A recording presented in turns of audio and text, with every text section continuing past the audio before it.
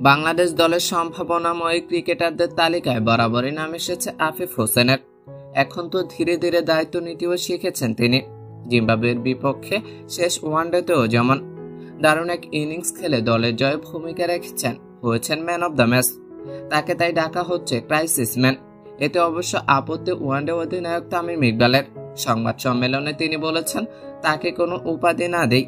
এখনই খেতাব দেওয়া তাড়াহুড়া হয়ে যাবে। তার ইউনিক কোয়ালিটি আছে, যা খুব বেশি মানুষের নেই।